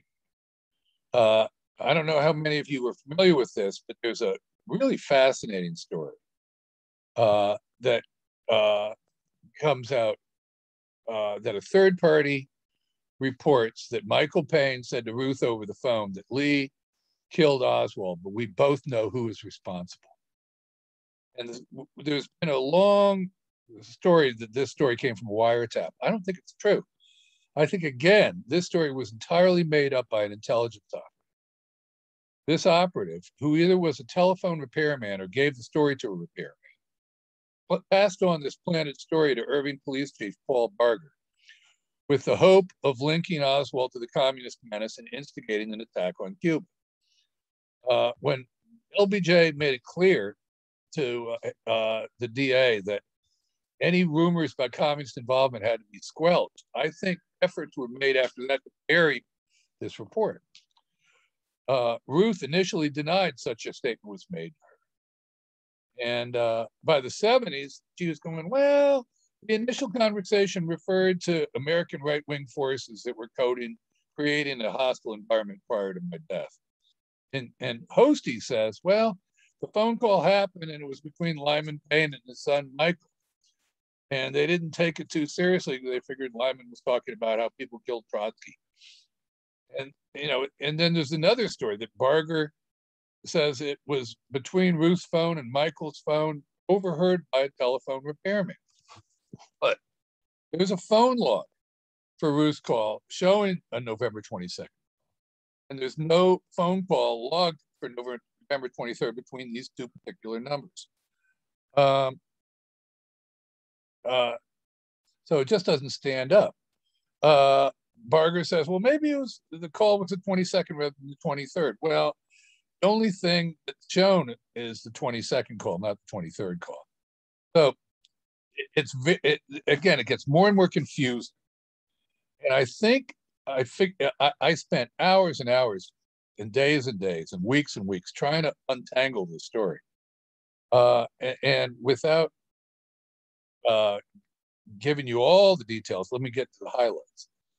Um, this FBI agent uh, interviewed the Irving police chief. He goes, and the Irving police chief goes, "Look, I got info. A male voice was heard in a conversation during a phone call heard on November 23rd. Uh, male voice was said to comment. He felt sure Oswald killed the president. Doesn't feel Oswald was responsible. And further stated, we both know who's responsible. We hear this voice, we hear this language rather verbatim in another report later on, but instead of naming Paul Barger, it names confidential informant. So then they, uh, you know, Ainsworth of all people interviews Barger many years later. Barger says it was a telephone repairman who was checking out the line. Um, Barger's still alive. I'd still like to get a statement from him. I'm working on it. But what I find fascinating is that when the FBI examined the records, Michael's office number, it was initially described as an unpublished number for Bell Helicopter. And that's odd because if Michael worked in Arlington, 10 miles away from this unpublished number, and was one of the few employees with a key to the lab. So the story just keeps getting stranger and stranger. And this is what I think kind of ties it together. A different FBI agent gets a different story in December. It says this number is for the Arlington, where Michael actually worked. Mike Paine and George Johnson, another employee, give access to the plant to telephone company employees. To me, this indicates that Mike Paine had been assigned by Bell Helicopter to be its liaison to the telephone company, and that the operatives at the phone company had a personal relationship with Paine. This may have been who was supposedly listening into the phone call between Mike Paine and Ruth. Telephone company operatives have a close knit relationship with intelligence operatives. That's how you set up wiretap, right? I believe that the Paines told someone, maybe Mike's mother, maybe Mary Bancroft herself, they'd keep an eye on the Oswald. And I believe they got in way over their head. Furthermore, I think the whole story that the Paines knew who was responsible was made up and was part of a plan to point the assassination on Castro Cuba. This story was a spare part, you know, just like the John Connally story, linking Oswald to a larger plot. In the end, was not used uh, shortly after the assassination, you know, remember how LBJ's people just settled on the story Oswald acted alone? How LBJ made it clear to his friend Richard Russell in November 29th, we got to take this out of the arena where they're testifying that Khrushchev and Castro did this and that and kick us into a war that killed 40 million Americans in an hour. Uh, there's a lot of national security concerns. Good reason on uh, th- that period of time. I think that's what led us into the package we have to try to unravel. So those are my thoughts. Any questions? Thanks a lot, uh, Bill. Um, there is a question from Johnny. I can bring you in now, Johnny, if you have one. it's me again, Bill. Um, I'm going to ask you to speculate for, for just a moment. Um, we all know about the story, the, the testimony of Lee Bowers, and we know that he observed two individuals behind the, the, the wooden fence during the time of the assassination. Can you think of any innocent explanation why these two individuals have never came forward in 57, 58 years? Which individuals get Lee Bowers and who else? Well, yeah, Lee Bowers testified. Well, and Lee Bowers told Mark Lane, and he testified that he seen two individuals behind the wooden fence during the assassination can you think of any innocent explanation why these two men uh, who are behind the wooden fence uh, have never came forward in 57, 58 years? No, no. I think the Bowers testimony is some of the best out there in terms of what really happened. Uh, I, I, you know, if if you there was an innocent explanation, uh, you'd think they'd want to provide it. But on the other hand, a lot of innocent people haven't come forward because they don't want the notoriety. So you can always make up an excuse for him. Uh, so uh, that wouldn't be my biggest problem. My biggest problem is that I think the Lee Bowers testimony, like you do, is some of the best that's out there. It has the advantage of being corroborated by numbers of other witnesses. mm. many, you know, the, the accounts, if you look at the Stewart-Gallagher database, Mary Farrell, you'll see the consensus was just about split between the grassy knoll and the book deposit. And I think, in fact, those are probably the only two places where you could hear shots. There was probably at least one place where somebody used a silencer. Mm. Uh, more. So it, you know, it was a it was a it was a long range assassination, the only one we've really had in American history. And to me, you know, it's a perfect, you know, it if you're trying to get away, don't leave a rifle that's the best documented rifle in Dallas. the whole purpose of a long distance uh, setting is to get away. And uh, I can't think of an innocent uh, explanation for what Bowers. And the three, the, the three cars that cruised the parking lot as well. Yeah. One of right. which was a guy was supposedly talking into a mic. Right. There's a lot of drama that's going on there. I, am I'm, I'm even a believer in in umbrella story that there's something really wrong there too. That the umbrella person was some kind of spotter. Uh, I don't like to spend a lot of time in Dealey Plaza because uh, it's so controversial. And at the same token, you know, I don't think it's as important as uh, as other people do. Uh, I kind of line up with Tink Thompson, who I've been working with in the last year. That you know, once you prove there's more than one gun, you know, that's really the most important thing you can do, and that is best done not by the Lee Bowers story, but I think by the forensic evidence, because forensic evidence, uh, you know, is intimately uh, more reliable than eyewitness evidence, which I always am nervous about as an attorney, because eyewitnesses so often get it wrong. Uh, you know, scientists, you know, are among the best witnesses you can ask for, especially when they have evidence that's not tampered with. And I think with the evidence that does exist in this case, the Zapruder film, uh, autopsy photos, and the rest, that they provide best evidence that it, there was at least two shooters. Do you think so th- that's my bias? Yeah, I've just read Tink's new book and it's very good.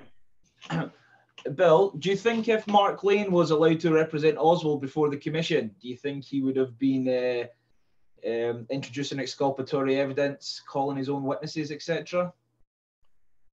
Well, I, am very critical of Mark Lane. I'm, uh, and so uh, uh, I, I, would use another attorney for that uh, role. Uh, Mark did some interesting things. I'm going to be writing about Mark in my next book. Uh, I don't think he was a disinformation agent per se, but I, but he was a publicity seeker, and I think caused real problems in the case. And the reason I say that is because besides Kent Biffle, there's this one guy named Thayer Waldo, who was a kind of a left wing journalist who was writing for the Dallas Morning News. And he got fed a story by Mike Howard uh, the Secret Service and Pat Howard of the Dallas Police. They were brothers. And the two of them fed him a story saying that Charles Givens saw Oswald shoot in the sixth floor window. He went ahead and published it. And uh, then, about uh, uh, two, three weeks later, Mark Lane is shooting the breeze with Thayer Waldo, and Thayer Waldo tells him this story, and he tells him who his sources were, and and Mark Lane blows his sources, and and prints them in the National Guardian. Now, you know, people could say, well, Mark Lane did that for the greater good, but it destroyed Thayer Waldo's career. You know, uh, but because his sources were blown. And what's worse is think about it for a minute. Here's a guy in the Secret Service and a guy with the Dallas Police, both telling this incredible bullshit uh, to uh, the Waldo, who then prints it, you know, to a national audience. And uh, you know, and Charles Givens can speak for himself, right? And Charles Givens is scared death as a result of what happens. And as a result, he's the witness who puts Oswald in the sixth floor you know, at 1220, where nobody else does that. He doesn't say, I saw him shooting, but Givens is highly intimidated. Highly intimidated. So uh, what Mark, you know, what Mark Lane did, I think was, uh, you know, terrible. But what I think uh, Waldo did was admirable, even though he got the story wrong. And what I think is uh, horrifying is what the Howard brothers did. And what I'm really struck by in conclusion is Mike Howard's going around to this day, and has been for the last four years, saying that there was a missing page ripped out of Oswald's address book. And said, I'm going to kill John Connally. I'm going to kill Jim Hosty. I'm going to kill LBJ. And, and Howard is running around 58 years later, still spreading disinformation, just like he did to Thayer Waldo all those years ago. So I, I, the reason I said Mark Lane was because, of course, Marguerite Oswald asked Mark Lane if she would represent Oswald before the commission, and Mark Lane. Right. Well, and, and the reason she did is because Lane had taken this story under his wing and was telling it. You know, he got himself appointed because of his, you know, big mouth. You know, you know, which is not bad. People, attorneys do that all the time. But I think Mark could have done a far more, far more effective job than he did. And uh, I'm really, really disappointed, Jobbie. Let me put it. Uh, I've I've never been a fan of Mark Lane, and it's because he he tells too many whoppers. You know, I mean, he's not Rudy Giuliani, but he's not Clarence Darrow either. He doesn't stick to the facts, and it hurts all of us when people do that. I think the, the, the in my opinion, the best book on the case is Sylvia Meagher's Excesses After the Fact I think that. Uh, I'm sorry, Johnny. What did you say again? I missed it. I think the best book on the case is Sylvia Meagher's Successes After the Fact. I think uh, Sylvia Meagher sticks to the facts of the case. She doesn't really speculate. Oh, I, I see why I had a problem. We, we call her Sylvia Marr. Sylvia Marr, yeah, sorry. Yeah, yeah I, I think she's probably got the best book on the case just because it was probably it was such an in-depth analysis of the evidence and the problems with it. Um, Total agreed. You and I are on the Sylvia Marr side of this fence. Absolutely. Yeah. She's the best. Yeah. Um, Bill, can I just, oh, sorry, go ahead, Johnny. No, I was, I was just, all I was going to say was, um, it was about the, the paper bag. You, you were touching upon it earlier.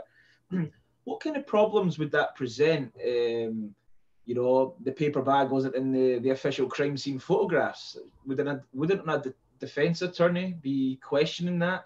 why it was removed, if it was removed, etc.? I've said for many years, I think Johnny knows this. I don't think uh, a judge would have let a jury take this case. You know, I think a judge would have thrown it out before it got that far. The evidence is so outrageous about the paper bag uh, for no other reason than it's not photographed on the scene. Mm. How could you not do that? There's also testimony as well. Uh, who, who was it again? Was I can't remember which FBI It was it. Cadigan who uh, who testified that there is no evidence that the uh, paper bag held the rifle. It, it, there's no oil. There's no nothing to yeah. indicate that the bag held it.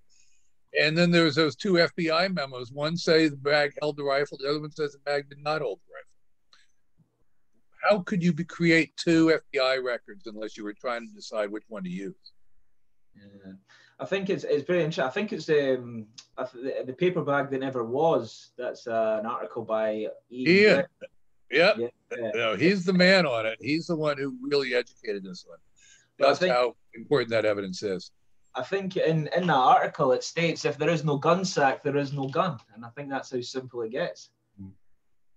It's a cre- it's a crucial piece of the case, and you know when you put those ten and more pieces of evidence together you know, uh, you, you know, you wind up with the opposite of what David Belin said. David Belin took 10 items of evidence and said, this is the proof that Oswald's a guilty party. And uh, my article, which is, you know, basically called How the Warren Commission Framed Oswald, says you look at those 10 pieces of evidence closely and all, all 10 of those evidentiary items you know, point more towards exoneration anything else.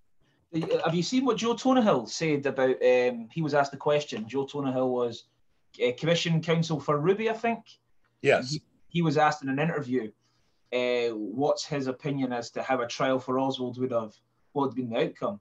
And Tonahill says that he thinks that um, it was a weak circumstantial evidence case, and he thinks the judge would have been forced to instruct the jury to come back with a verdict of not guilty based on insufficient evidence.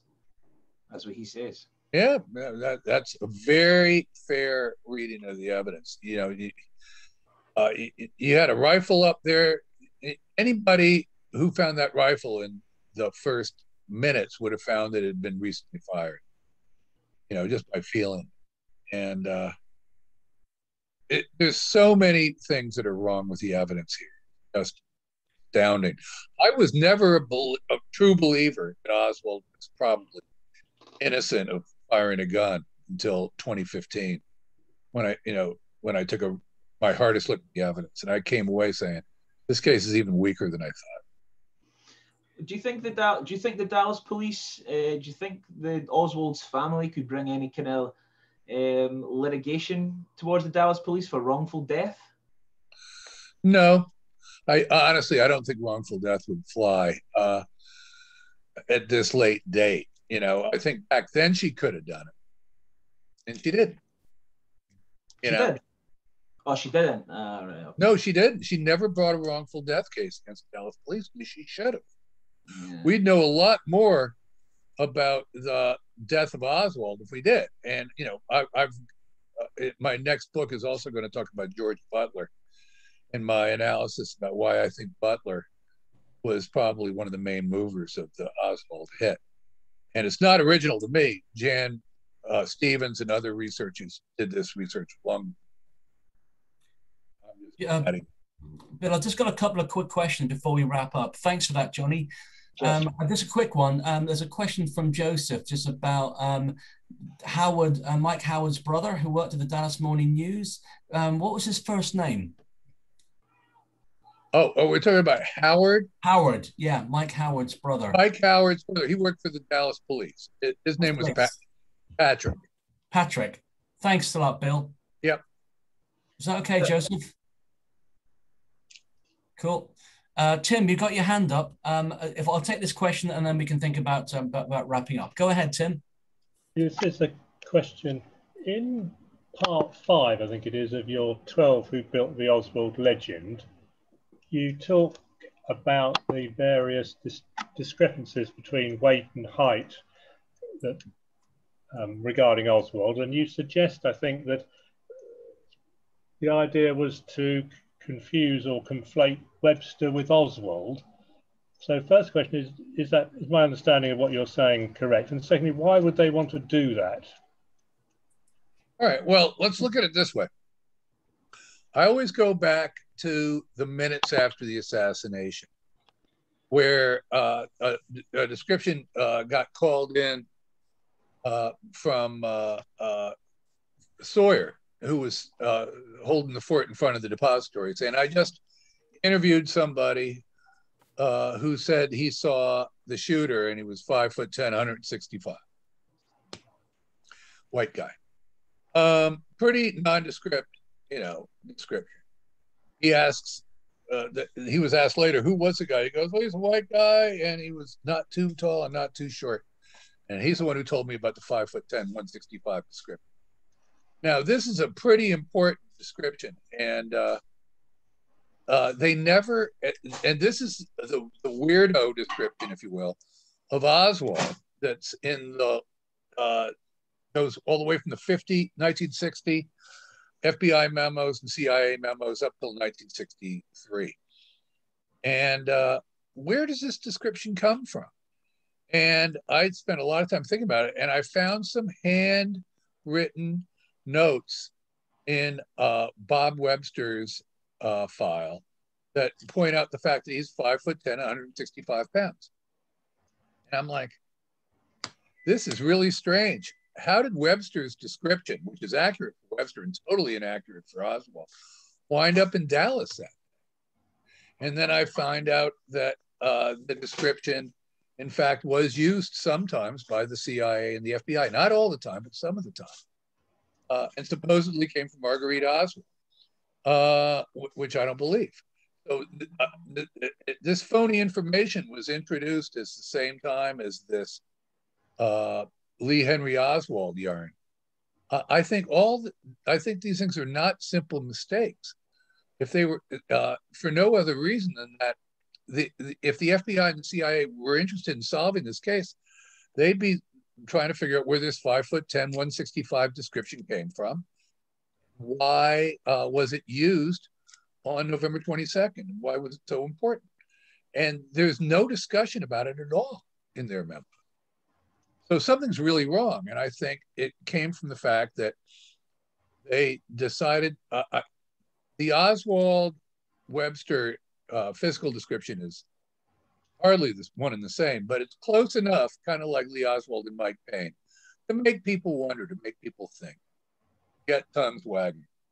And I think that was the whole purpose, in many ways, of having Oswald come in right behind Webster was uh, that it got the Soviets to talk, and they could uh, learn counterintelligence information from getting them. Uh, that's a bit of a long-winded explanation, but the whole congruence between Webster and Oswald is really shocking. You know, they, they tailed each other coming in, they tailed each other going out, shared the same description. Uh, they even had uh, relation. Both of them had relationships of some sort with Marina. Marina admitted having talked with uh, Webster while he was in. So it all looks like spy games to me. Okay. Thanks Bill, so much for that, Bill. Bill, can I ask you one more thing, just very, very yeah. quickly? The shells that were found on the sixth floor, C543, 544, and 545, um, when the police uh, made searches, and I think the police and the FBI actually made a canvas to find out where Oswald allegedly procured the ammunition, and both of the stores said they never sold any ammunition to Oswald. When you couple that up with the fact that when there were searches carried out at Beckley and uh, in Irving, and they found no, eh, not any evidence at all that Oswald owned any ammunition, um, no ammunition boxes, etc., in his possession um, how can the prosecution or how could the state say that Oswald was on that left them shells on that uh, on the sixth floor when they can't even prove that he actually owned any ammunition?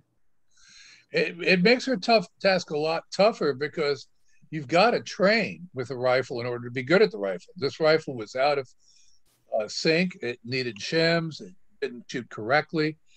And most importantly, like you say, because there's no ammo uh, or signs of ammo, uh, we have no proof that he was training at all with this rifle. We don't even have proof that it was in his possession in the days prior to November 22nd. All we do know is there's a paper trail that ties him very securely to the rifle. But it doesn't uh, show that he picked it up.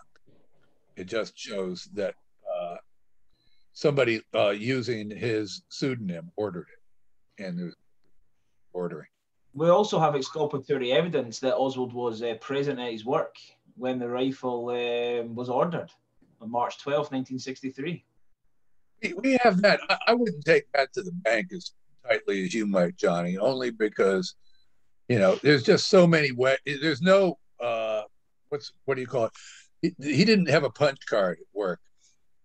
He could have gone out for an hour and we just don't know but uh, back in the day, it went by jobs he was working on. So it was like eight o'clock till eight twenty-five. He was on a certain job, and then it was like eight twenty-five till nine thirty, etc., etc.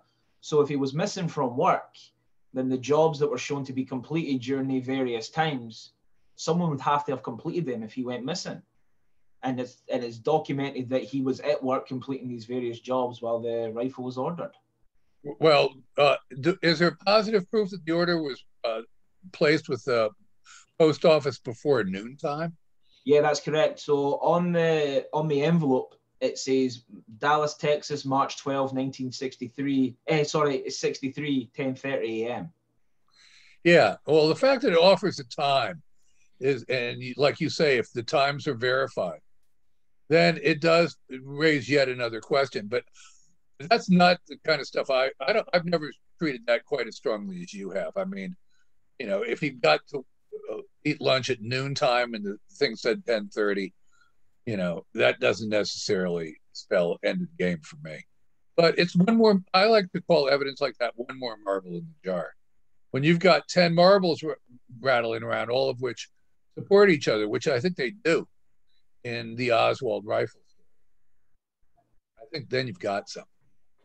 But then, you know, this is the horror, Johnny, about all these murder type cases. You've got all this good evidence, but how do you shake the belief systems of people in the face of the evidence? We can't, in the United States, as you know, uh, you know, our former president has tried, has convinced most of the members of his own party that he actually won the election. Hmm. You know, and I, I've I've worked on election fraud cases before, and I think there are cases of election fraud. This Mr. Trump case is simply not one of them. But you can't convince members of his own party of the contrary. So I mean, this is the horror of where we find ourselves. It's not enough to have the superior evidence. You've got to have the better story. That's why I love people like Oliver Stone, because they're because they're good they're good uh, storytellers and they're not propagandists. And there's a real difference. Yeah, I always find that no matter how much evidence you tell people or show people, they'll always just believe that he was guilty, Oswald. Oh yeah, right. right. You know, happily, you know, I think we still have the edge in many ways in terms of the public. Uh, large numbers of members of the public want to believe our side of the story. They don't have access to the evidence we do we do want to get the evidence to them. And we do want to be able to tell better stories, which is why I prefer talking 20 minutes at a time. I don't want to bore the audience. And at the end, I think the most important thing all of us can do is think of video ways of telling this story because most people don't read books. Mm-hmm. Yeah. True. Well, it was good speaking to you. Likewise, this is great. Absolutely. It's been terrific, Bill. And you've, you've gone above and beyond. At least it's a decent time of day for you now. And uh, you can enjoy the rest of your day. But on behalf of all of us, thank you so, so much for your time today. It's been terrific. Thank you. And loop me in. I'd love to join you on future webinars as, oh, a, as a listener. That would Absolutely. be great. Absolutely. Thanks a lot, Bill. I really appreciate it. I'm just going to stop the recording. We can still talk, but I'm going to stop. No, we're good. Thanks, guys. I'll take off. Thank you, Bill.